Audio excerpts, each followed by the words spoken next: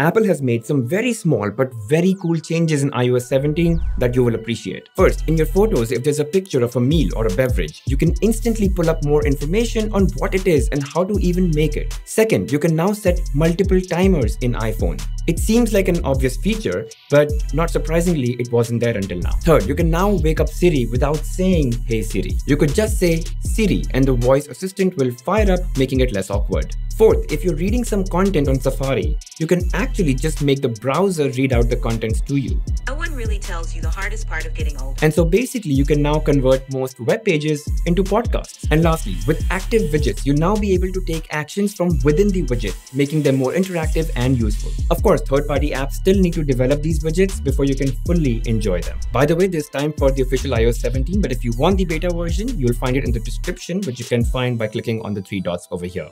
Subscribe for more.